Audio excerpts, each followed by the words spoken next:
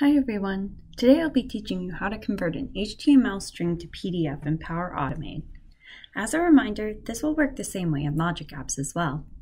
To perform this flow, we will be using a Cloudmersive Document Conversion connector. Now, to get things started, we will click Create.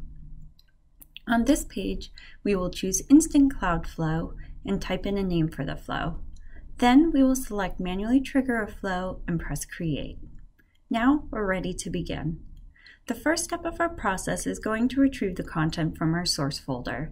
The file I will be using is in SharePoint, so I will type SharePoint get file content. Next, I will select my SharePoint site address and the file path. After we have created the file content actions, we will add a new action step by looking up the Cloudmersive Document Conversion connector, which is the green icon here, and selecting Convert HTML String to PDF. Note that if you've never used one of our connectors before, you will be prompted to enter your API key.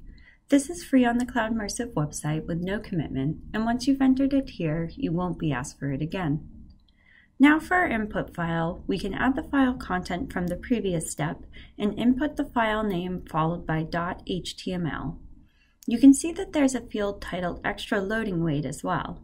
This is optional, but allows you to specify the additional number of milliseconds to wait once the web page has finished loading to take the screenshot, which can be helpful for highly asynchronous websites. After this, we're going to add a create file action for our output. I will choose the desired location for my file, including the SharePoint address and folder path.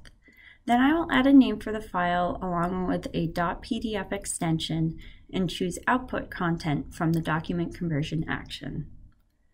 Once this information is filled out, we can click the Save button at the bottom of the screen.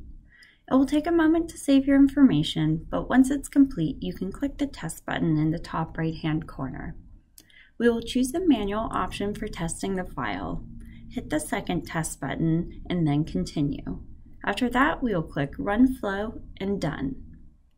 After clicking Done, you will see green check marks next to all of the connectors showing that the flow worked. Sometimes it takes a second or two for all of the check marks to appear, so don't stress if that happens to you. Now you can check your chosen folder for your newly created PDF file.